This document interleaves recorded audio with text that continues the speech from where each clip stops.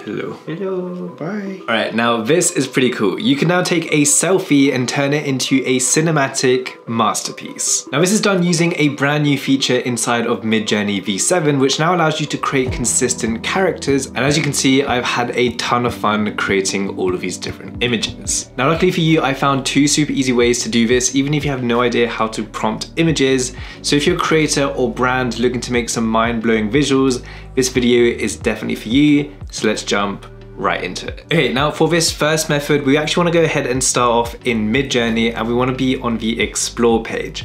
Now from here, you can actually go ahead and search for any image you want in this search bar. So let's go ahead and find a Viking portrait. Now you have to do is find an image that you really like and go ahead and click on it. Now on the right side, you'll notice that you have your prompts. Now this is what we're actually gonna go ahead and click on and you'll see that that auto fills inside of the search bar. Now from here, all we have to do is go ahead and click on add images, then omni reference, and then we just want to go ahead and drag in our image just like this.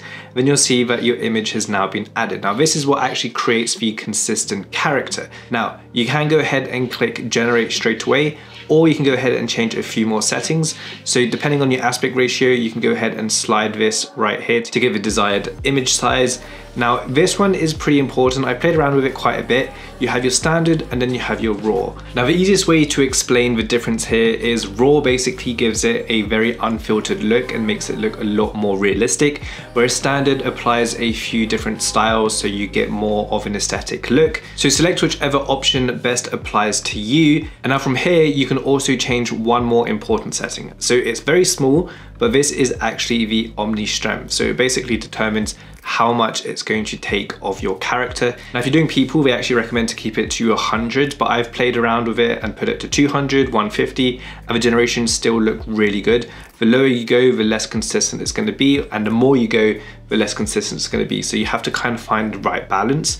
But once you've gone ahead and done that, you just click on generate, and then boom, you're gonna see that it's created a very similar image, but the difference here is it's actually taken your reference image and made that character into that image, which is super cool. Now, a little later on in this video, I'm actually gonna show you how you can enhance these images even further to make them look a lot more realistic. And then I'm also gonna show you a couple of tools to actually take that image and turn it into a video like you saw at the start of this video. But let me quickly show you the second method. And this one is actually really cool and you gotta trust the process. So you're gonna start off by heading over to ChatGPT.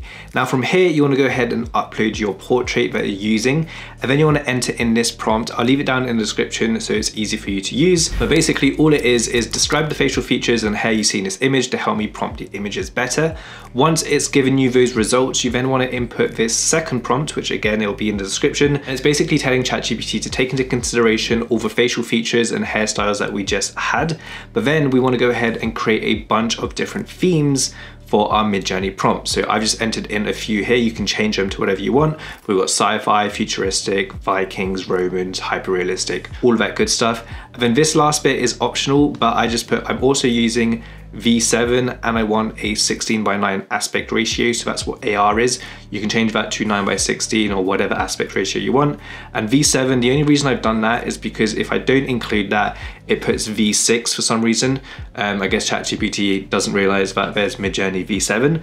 Um, so you can go ahead and add that if you want, it's completely optional. Now once you've hit enter, you'll see you have all of these different prompts. Now this is where the fun part goes. Head back to Midjourney and all you have to do is click on the search box, paste in your prompt, and again, you want to select your image, then choose the Omni reference, add your image, and then again, you can choose the standard or raw, select your aspect ratio if you haven't done so already, then go ahead and hit generate and you'll see you get some awesome images that look like that. But that's the basics of using the new feature for consistent characters inside of Midjourney. But now I'm gonna quickly show you a few extra tips. So if you want to enhance your images, you'll notice that some of the images that you generate will have a little bit of a softer look. The skin will look quite soft and unrealistic or unnatural. So what we wanna go ahead and do is upscale our image. Now, the tool that I usually use is Magnific, but that is a little bit pricey. And I actually found out that Freepik has Magnific built in and you get a few free daily generations which is really awesome. So I'll leave a link to that in the description if you want to check out Freepik. But basically all you have to do is head over to the AI suite,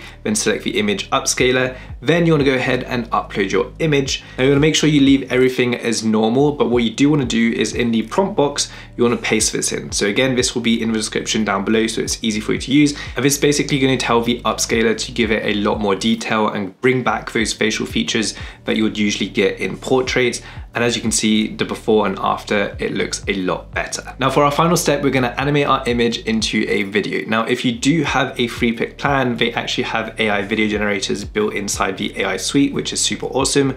So I'll quickly show you how to use that. And there is a really cool feature inside of here, which you'll see. So head over to the video generators. Now, all you have to do is upload your image and it's gonna automatically detect and figure out which AI model is gonna be best to use.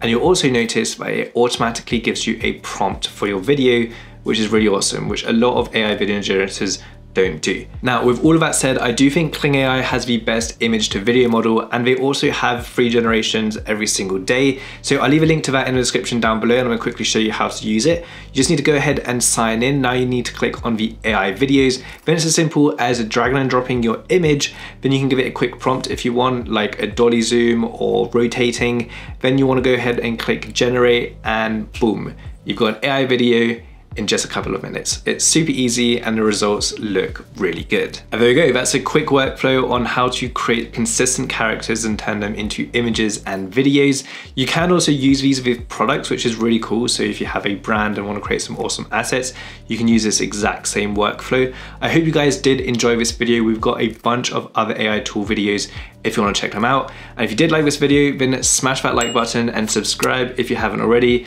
for more awesome AI videos.